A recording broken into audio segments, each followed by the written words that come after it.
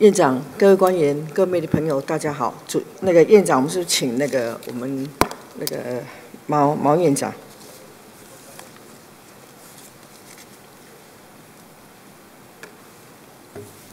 罗委员好。那个毛院长，刚刚提到哦，那个张家俊委员提到，就说我们昨天晚上的那个国宴呐，外交部啊，那个请请那个高总经理来啊，把人家一个人丢在那那个一个桌上，一个人吃啊。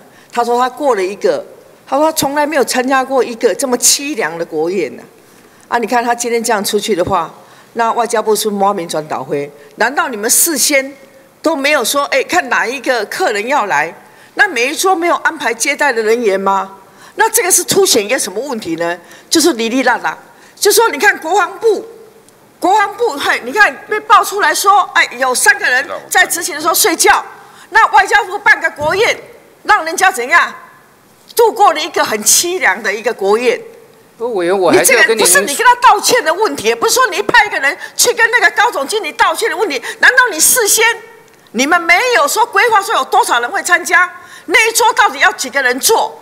那接待人员那一桌是谁负责？怎么会让人家一个晚上坐在那边，一个人坐在那边呢？不，我要跟委员说明一下。当然，一方面我们有跟高总经理道歉，可实际的情况，他是坐到那个预备桌，他是坐错了那个位置。那坐错，你们总有人要把他带到别桌去啊？对，所以怎么可以可以说他坐错？所以这一点就是我们要表示道歉的地方，因为人宾客很多，所以礼宾处确实有疏忽的地方。所以没有注意到说他坐错了位置。不是，你香港本来是好事哎，跟他讲说他度过一个很凄凉的，参加一个很凄凉的。对，所以我们要特别向他 表示歉意，但我们也把事实的情况有跟他做说明。其实进场的时候，我们也有也有告诉他坐的位置。这个还凸显一个是说你外交部的办事啊，你们的办事人员是多么的疏忽啊，多么多么的不用心呐。我确实有疏忽的地方，这点我愿意，呃，我也向他表示歉意。对，这个这个是蛮离谱的吼。那院长。你你可以看到哦，就从你上任以来，其实很多很多人的那个大家说位居要职的一些一些政务官呐，都纷纷求去，包括什么管仲明啊，那个叶匡时啊，还有什么王义奇、蔡德胜，现在又传出说那个高华柱也要，哇不是那个那个王卓君也要离职。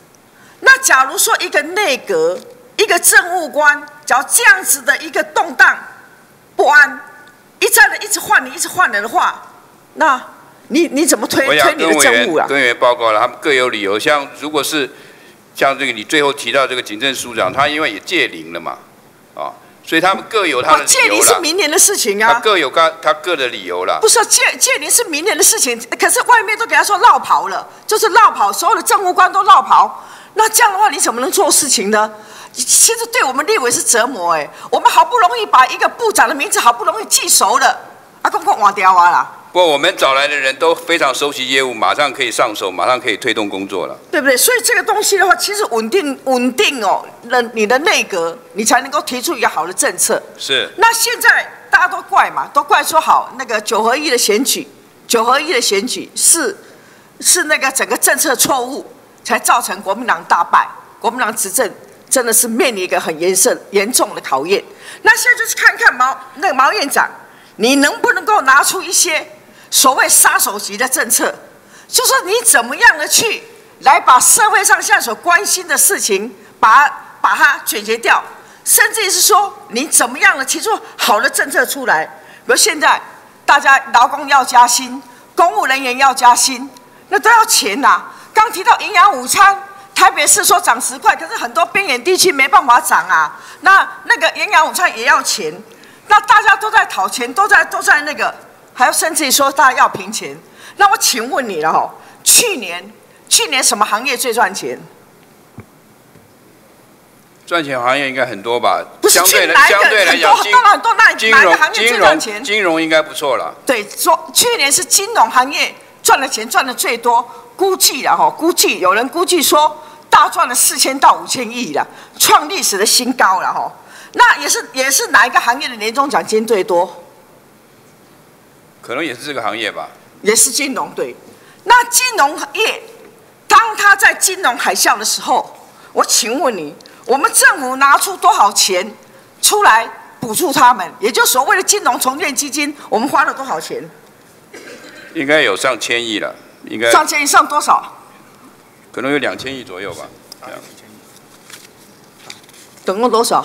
跟委员报告大概两千亿左右。对，两千零七十六亿的哈，总共花了两千多亿的，本来还本来那规模还要升到一兆多了哈。那过去我们提供这个金融重建基金来协助银行纾困，那现在银行赚钱了啊，那银行赚钱的话，是不是应该请他们要把他们的获利也让让来来让全民共享呢？我有做了一个统计表出来了哈，你看看它整个过去，你看看。我们报纸最近这几天都在都在报什么富邦金啊、国泰金啊，前两个月赚百亿，甚至于你看看，甚至于说彰化彰那个彰化银行还要布局海外，获利创新高。好，那你看看你看看这个表，过去银行接管，我们银行接管的时候，我们我们以彰化银行来讲，它二零一二年他赚了一百零二亿，二零一三年赚了一百零七亿。那二零一四年赚了一百二十四亿，可是当年我们给了他四十六亿，包括合作金库，我们给他三百五十一亿。你看看给了这么多钱，那他现在赚钱了，那是不是应该叫师傅回馈？比如说好，我们要调整那个那个营业税，他也拒绝。调了，就没有没有拒绝，调了。对。跟跟委报告已经不是你调了，你要调了多高嘛？你是调了百分之五。另外跟委员报告，获利是创新高。那另外我们也希望整个金融业负担更多的社会责任。另外我要特别特别跟你怎么负担嘛？你你你要他负担什么社会责任？因为我之前是这样哦。你那我之前我们中中华民国的政府都很笨。你看美国当年他怎么处理他的次贷风暴？他当年处理要次贷风暴的时候，他是接管他的资产，或者是说他加入。他加入买他的特别股，买他的那个。其实当年我们在提这个金融重建基金的时候，本来是修法是说要介入当他的特别股，可后来被改掉了。不要就是白白把钱送给人家。那尤其是在资产重估的过程当中，很多比如说好一个资产，你给他估一百万，到后来他卖掉，他卖了三四千万，那这个东西我们政府拿到什么呢？所以你是不是应该重新检讨去加说我们这两千多亿？投进去给给这些金融业，他创造了多少利润出来？那现在每一家都赚好几百亿呀，那是不是应该要把那个钱拿回来呢？跟委员报告啊，啊，其实没有错，今年的金融业的获利创新高。不过有一个数字给您报告，因为您是会计师哦，它的 ROA 是零点八，那 ROE 是百分之十二，那国外的标准是百分之一跟百分之十五了，对其实还是比国外还是比较差了。因为您知道，因为你要知道，整个金融业像银行的净值高达二点八兆了，其实它的获利率是创新高，但是跟国家其他国家比较还是有不是，我不跟其他国家国其他国家没有像中华民国政府这么笨，把钱送给人家，什么都没有。你现在我的意思说，你当年其实一个大的错误。跟我报，我们中华民国没有比其他国家笨。跟你报告，其他国家，你两千，其他国家在处理问题金融机构也是也是政府国务出钱的。不是，你看看嘛，你看看人家美国，是美国他怎么处理他的次贷风暴嘛？他是一，他只是说让他那个要么就降息，他主要央央行他们买进他的一些问题资产，就把他问题资产买回来呀。那我们最起码，你看你这几年来房价上升。当年的一些他们抵押品的所谓的不良资产，那个抵押的那些房价都是高涨的很厉害的。所以你你今天，你你到底你就是我们是把钱送给人家哎。跟委员报告，因为美国当时金融风暴的时候，它的银行呢没有严重到那个程度了。真正严重的话，禁止付的。我我现在我现在是这样，你你不用替银行帮辩嘛。哦，没有，他现在赚很多钱是事实嘛。没错，对不对？你现在你看看看看这个表嘛，我们列出来，让每一家比如合作金库。他二零他二零一二年他赚八七点三五亿，二零一三他赚九十三亿，二零一四年赚一百零九亿，我们给他三百多亿。那你包括汇丰银行、新加坡银行、一三、阳信，哦，尤其阳信也给了他。台湾土地银行、台银、华南银行、彰化银行，彰化银行给了他四十六亿。他这三年来赚了三百多亿，还布局还要布局海外。因为委员报告，因为他的承受问题金融机构基本上他都亏钱了。我都知道，没有他没有。那你当时我是觉得说，你们是不是应该要重新去检讨？你当时给了他钱，有他处理的这些不良资产，因为外面都在传啊，外面都都都在讲说讲说当年的那个资产公司在评估资产的时候都低估，都故意把它低估。后来房价上涨了以后，整个大卖，每家都大赚钱。呃，所以你你们是不是不然你做一份嘛？你就做他当年他承接的这些资产多少嘛？他卖了多少嘛？他获利了多少嘛？所以你没有问题，我们可以把这个报告送给委员。所以院长，我告诉你哦，你现在开始找钱嘛？那找钱你不要一天到晚啊什么我富人要征税了，我二代健保补充保费去去挖那个穷人的钱呐？你你能弄多少钱？我们那个两千多亿好，你要去要回来啊！他们亏损的时候我们帮助他，他现在赚钱要不要回馈回来？他赚钱当然要把它要回来啊！那只是说当初在修法的时候，修法的时候，大讲阿扁时代的那勾结嘛，那个乱就那个根本就是图利的图利的那那些那些金融业，就一句话说啊，你不给他他会倒。是啊，你应该是借给他，你是用借的方式借给他们去处理才对啊，而不是送给他。你现在政府白白送给他两千多亿，那现在呢，赚那么多钱也要想办法拿回来啊。跟委员报告，那时候存保公司都是用拍卖的方式。那拍卖方式，因为它净值亏很大，所以要有部分贴补它，啊，不是白白送给他。对啊，啊贴补他，他现在赚钱的还回来啊。呃，跟跟委员报告，可以把那个评估报告给你参考。对啊，不是啊，我跟你讲真的啦，那个那个部部长，还有把院长，我跟你讲，你要那个魄力。现在我们你很多施政，你现在很多东西，大家都要钱钱钱，每个地方都要钱。包括你做高雄，他为什么要叫中油搬到搬到高雄去？就也是为了钱，几乎大家都为了钱。那为了钱的话，你要去很理由很正当，你要去找把钱找回来嘛。那当年浪费的、当年不对的政策，你现在都可以重新回来检讨嘛。我我我对只有金融当年投入的金融重建基金，我包括很多资产的评估，包括很多那个，我们都做了很多功课，包括以前我在财政委员会的时候咨询了很多。估价估一百万的资产，后来卖了卖了三四千万，那那那个是什么原因？就勾结图利嘛。那只要你有魄力，你重新来检验这个这个这个事件，重新来检验这个金融重建基金，好好的替全民把这两千多亿都要回来的话，那大家会给你鼓掌。但你把这个钱弄到有意义的地方去的话，那不是。不是你可以得到掌声吗？不要说人家说你，你这一年当中你是什么僵尸内阁啊？你是瘫痪了，你什么都没办法做。所以说你要拿出一些比较杀手级、比较有意义的政策出来嘛。所以你是不是可以说重新的好好来检讨、检讨这一个金融重新投出去、投进去这两千多亿，有没有办法帮他把要回来呢？呃，跟委员报告了，当时啊，重建基金付出两千零七十几亿，是因为当时有一些啊金融机构问题，金融机构有元大有重大的亏损之后，弥补它一部分，其实没有全部啊理赔完毕，所以基本上您要的评估报告，我们可以送一份给你，对不对？你你不是的，你你现在很简单嘛，就他有困难的时候，他有困难的时候，我政府帮助他嘛。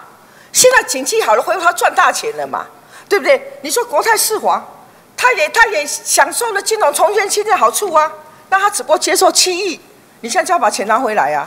他不会拿回来吗？对不对？他也是承受问题保险机构啊，不是真的七亿不是啊，那他承受保险机构，他承受了那些保险机构，就好比我真的很有时候你们很多政策莫名其妙，包括那个那个什么那个那个国华人寿花八百多亿，去把把女儿嫁出去，送了一大堆嫁妆给人家。你说什么承受承受什么？我这我看不懂哎。人家好好的在经营，你偏偏要给人家接管，那把那接管了以后，自己经营了又比人家经营的更不好。跟委员报告，他绝对没有好好的，这因为净值付了将近一千亿了，才去接收他。所以，所以你那你你政府付了八百多亿去干嘛？你他假如你当时，我看你现在不要，我当然今天咨询时间我没有那么多，跟不想跟你辩那些。你当时假如没有强迫人家说一定要把赶快那个在那个点把股票卖掉的话。就不会那么惨了，所以错误的政策，其实你也有，你也有责任啊。所以不要再不要当时没在，不要不要不要在不要在那边那边那个吼。所以不那个院长是不是可以比照美国人家怎么去处理他次贷风暴？当时他怎么处理？那现在政府你两千多亿都是也都是纳税义务人的钱，大家的血汗钱，那你丢给的银行，现在好了，啊好了是不是要还一些回来呢？你认同吗？院长，我想我可以来了解一下这个这个案子，好不好？因为像他们这里这一部分的这个细节哈，有他专业性的细节，好不好？对，就是其实很简单，那算就算算就知道了嘛，对不对？当年怎么去那个嘛吼？那提到说，好，大家在谈说那个我们的薪水倒退到十五年前，那现在我们提出来说，所谓加薪四法，其实加薪四法修公司法啊，我三年前就提出来了。我那时候提出来在在经济委员会的时候是经济部反对了，我很很很高兴说，因为就是因为朱主席上来了，朱主席说哎一定要推，所以你们才才愿意推。好，那你现在愿愿意推的话，可是马上一推的话碰到很多的阻力，包括有很多很很多很多的那些工商企业界、工商企业界的那些那些那些大佬，比如说工商协进会的什么林柏峰反对。那个那个全国商业商业总会的赖正义也反对，那那你会不会说你们碰到这些企业主的反对，或者是说民进党在这这边给你欧龙谁都给你乱讲，那你就会退缩了呢？你们你们就会说这个司法那个家庭司法就不对了呢？会不会呢？跟委员报告，我看这个问题哈，其实我会觉得这个就是法国那个经济学家啊皮克提。提出来的问题的一部分了。我们台湾是整个这部这这个问题的一部分。这句话意思，也就是说，资本主义啊，用传统的思维，它就是投资股东啊，投资就是企业主投资，然后有回馈股东，就在这里面循环了。那但是呢，虽然口号上我们讲说员工要当做伙伴啊，那但是从很多很多的这个。惯性的行为来讲，员工事实上都被人家当做赚钱的工具了，所以我们认为说啊，就包括这个彭总裁实际上是呼应我的说法啊，就是我们基本上我们大概都认为，像那个皮克提啊那个经济学家所提的这个现象，我会认为我们台湾透过立法的方式来提醒我们的企业主啊，要把员工当做伙伴啊，当做当做他的公司资产。啊，用立法的方式来来提醒这个企业主，我认为这是在某种角度，我的我自己的解读，我们是相当于在呼应啊这个皮克提这个他所注意到这个现象，我们所做的一种回应啊，所以我想我会从这个角度来看这个问题。所以你你们一定会坚守坚守这个立场，一定会力推，一定会让他通过。我们我们我们这一部分提出来是中小企业处提的啦，啊，所以我们那我们那一部分我们既然提出来，而且我们有这样一个理念在背后。那然后再加上后来就是说这个呃贵院这边也有很多的很多的这个委员也提了其他啊相对应的配套配配合的配合性的这个法案，我想我们啊会会希望贵院这边能够能够能够顺利来处理这个问题。也也就是也就也就是说我们现在在委员会通过了，那么假如说去审的话。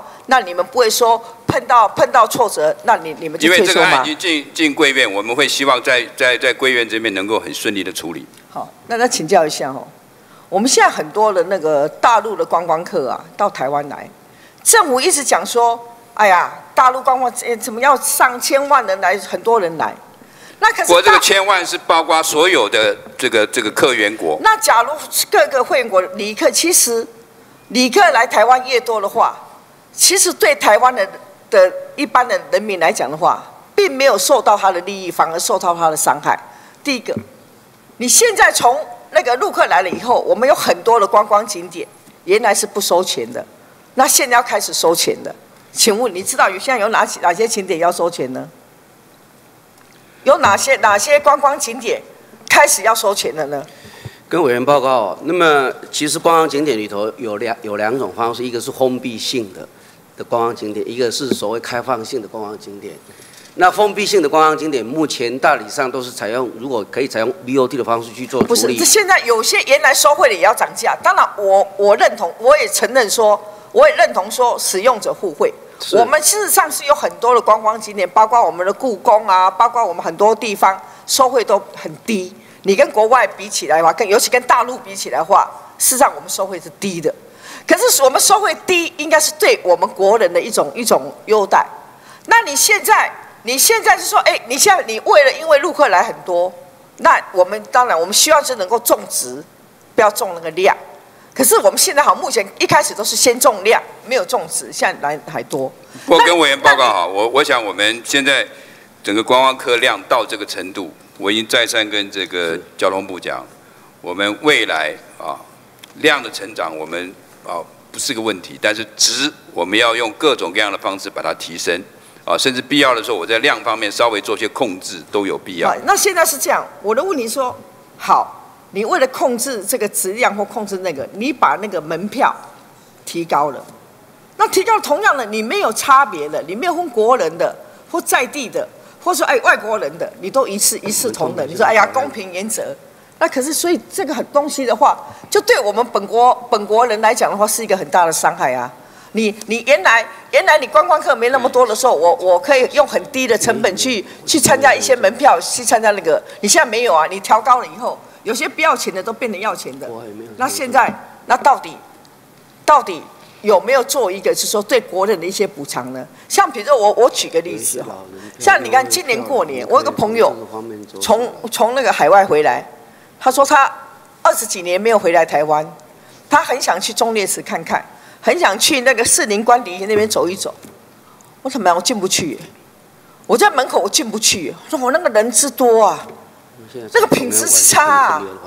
那你看看，就是我们自己自己国人的理由受受伤害了、受损了，那就是因为大陆客来。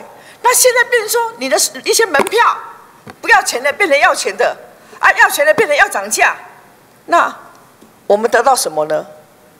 那现在现在好，那个那个部长，我陈部长请教一下，你你们现在是哪些东哪些地区哪些风景区？你们决定要把它由来由原来的免费要变成要收钱的。我我想这个是我们都在检讨了。那其实委员刚刚所谈的旅游品质的这一块哦，目前那么公安局也跟各个风景点在做所谓的总量管制跟分流的管理，也就是说我速度的管控它的人数，那让那么团客的话可以在不同的时间可以进来，那么让国人或者其他的。那么国家的人来来可以。我现在问你啦，你现在你交通部规划的有哪一些景点原来免费的要变成要收钱的？我我的印象里头，我印象手头上没有带资料。我的印象里头有九个点了哈，目前的准备就是在做收费的这个这个准备了。比如说鹅銮鼻，有九个点了，我我现在手头上没有资料。还是还是还是说垦丁公园，还是说哪里？那那那你你就是好，你有九个点是免费要变成那个收费。那有哪几个点是由要涨价的？这个要通盘检讨了，要通盘检讨。因为你你们已经对外在发布这样的信息了嘛？那你那那你们有没有考虑到说作作为就是差别收费的呢？就我们国人是不是可以不要涨价，或是原来免费的就免费？那对于外国人，那该涨你就去涨吧。跟委员报告，国际上一般来讲，哦，除了这种特殊，例如说有一些优惠需要优惠的族群，那么我们采取优惠以外，那么事实上国际上有啊，其实很多很多很多地地区地区有不同的这种国籍，难道给予不同的所谓的门票的这种处理以前以前其实中国大陆很多都是这样子啊，我们国外到到那边去旅游那个国际上被认同的的几率所以你现在，所以我我就讲嘛，你就你提出的政策。你你提出来，你没有得到什么好处，你能增加多少门票？可是你是给国人骂的要死啊，对不对？那你你人家人家讲说好，你一直政府一直在鼓吹观光客到台湾来，人越多我们越惨，人越多我们越赚不到钱，人越多我们旅游的品质越差，造成造成很多很多的很多很多的问题出来。那这样的话。你说你这个政策，你一站每次总统到哪里去，或你们到处现在，哎呀，我们的观光客有多少人变成多少人，我们的什么免签证的国家变成多少，我尴尬啊！是跟委员报告了，就刚刚院长也特别跟您说明哦，就是说我们现在其实都在提倡优质的团客了，甚至高端的团客，那么把一般的比率把它降低。那甚至那么现在总额的管制也没有往上提，所以我们先要求值，然后再量再加上来你你当你讲的很好听的，你说种植，你规定那个旅行社说，哦一天他们一定要多少钱？可是这个这个问题是老问题了，已经讲很久了。大陆的在地，他们所谓所谓的那那个什么什么，他们旅行社承接客都是一定是就是那那几家在包，他要给我们台湾的旅行多少钱，他都是这样的，你不接别人接。所以你是讲说，哎，一天一定不能够低于什么美金五十块或美金多少钱？可是那谁理你呀？没有了，现在连团连团会都有啊，所以这个品质品质的问题，你不要讲我想我想跟委员报告一下了哈，我们针对这种所谓零团费或者低团费的哈，我们现在的方式就是让你来排队嘛，凡是有高高团费的这些，我们优先啊插队来处理嘛，所以这个比例关系已经最近已有很大的改变了啊，就是说过去等于说这个可能占了百分之七十，那现在这个已经百分之五十以下，高团费提高。然后委员刚刚讲说我们没有赚钱，我想这个应该也不是事实了。我们现在的旅馆拼命在盖，我们的这些餐厅，我们等等这些，我想这个这个总还是一个社会现象嘛。你知不知道现在很多旅馆在盖，包括很很多的旅行社，台湾的旅行社，包括台湾的那些艺品店那些店呢，都是谁在投资的吗？你知道吗？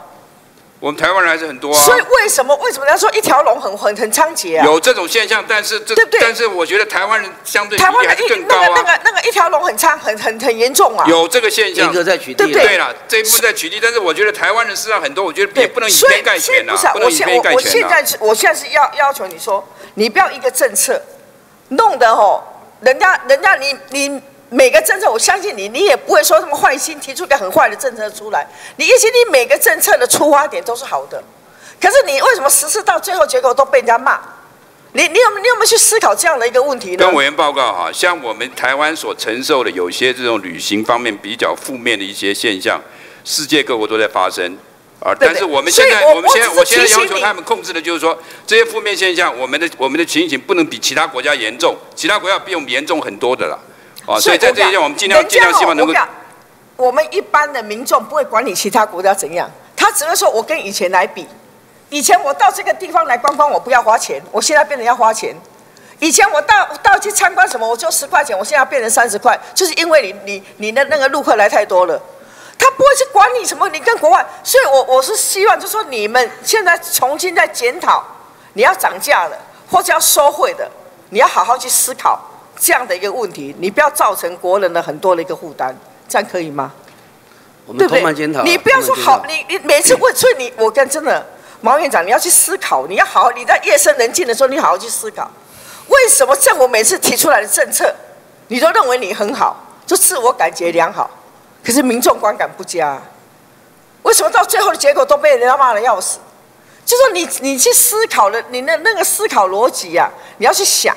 我我管你海外怎样，我管你美国怎样，我管你英国怎样，我管的是说我现在能不能够跟比跟以前比，我能不能跟以前别跟以前比起来更好？大家思考的是在是这这样的一一这样一个问题呀，对不对？所以你们在做任何政策的时候，你要去想，你要去做一个转变的时候，想说那老百姓的感受是什么？你要从我的口袋里面把我掏钱出来的时候，那种相对的剥夺感是什么？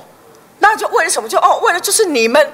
你你你讲的那个陆客来很多，对不对？那我也希望你们有很多的一些会用，你尽量说哎，大陆人来，你尽量跟他说，比如说好像很多国家，你说比如说不丹，不丹它它是很重质重质不重量啊，你要去他那个国家，你要缴的那个费用啊，多高啊？他一天都收你要要收你。收你，你只要进去他国家，一天好像收你一百块美金，一百块美金的。你你你就是要去护他的那个，你才能够进入他国家去参观去那个。啊，台湾本来就是一个小岛，台湾很小，台湾不需要很多人来，台湾是要的是很直重质来，可可是政府早期都一直重量，其实这个都是一个很不对的一个政策。所以我希望真的你们要好好去思考。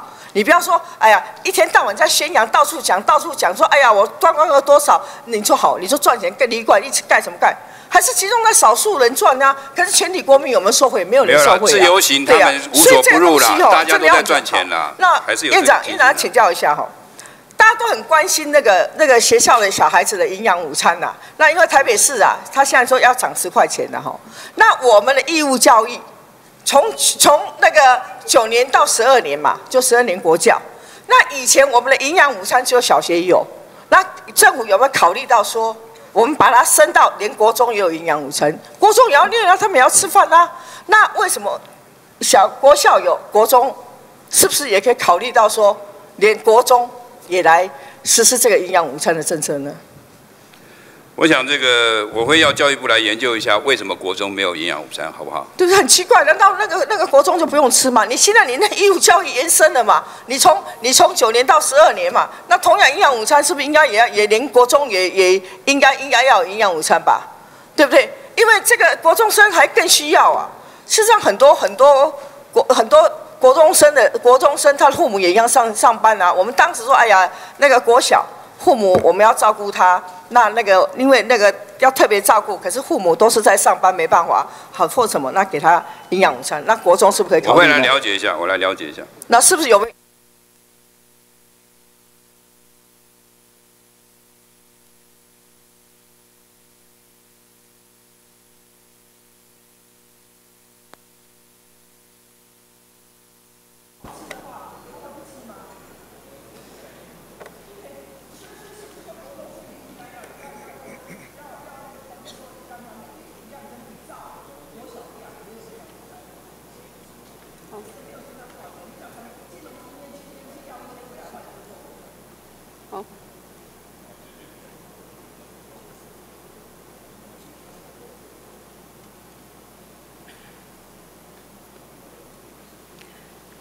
请陈委员欧。